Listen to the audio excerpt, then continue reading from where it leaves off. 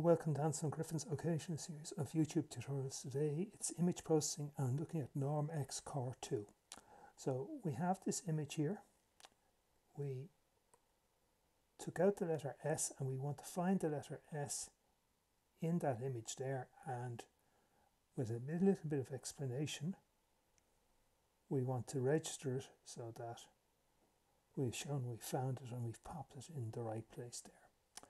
So I've published it and I'll run through the code. So just to say, I took this example from here. My own example that I've done before, which I've done in great detail, is there. And if you can't find it or it's too long, if you just search for template matching in MATLAB using normxcorr2, you'll find it. So we won't delay.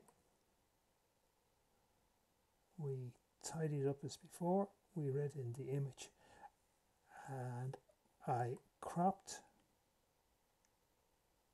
that letter S out of it here and I'm going to try and find the letter S in there. So there's the original single letter.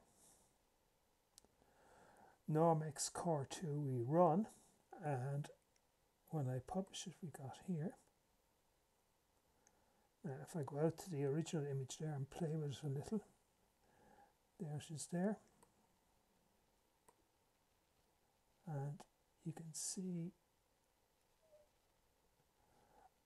if we got one, we'd have a perfect match. So, you know, just there, wherever those coordinates there, that's the closest match we've got. Now, why we didn't get one exactly could be down to a bit of shading problem, etc., etc. But just to you could play with this all day trying to get the right angle but I think somewhere around there it's about the best. Ideally you'd be looking for one. So I assume you know uh, what norm what cross correlation is etc okay we go down. I get here I've got the biggest value, that's the one nearly 1. That'll be in just one vertical column. We vectorized it. On this line here, I've dug out the x and y coordinates from the one-dimensional array using the index to sub command.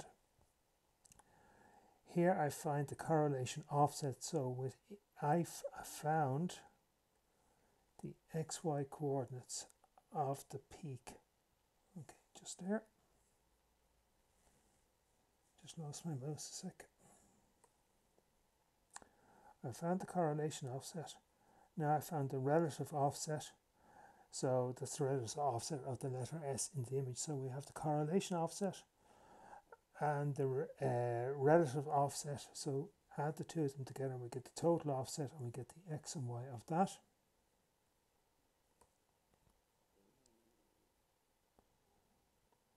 So we've worked out there where the start of the letter S or the start of the letter X is sorry the start of the X the end of the X the start of the Y the end of the Y.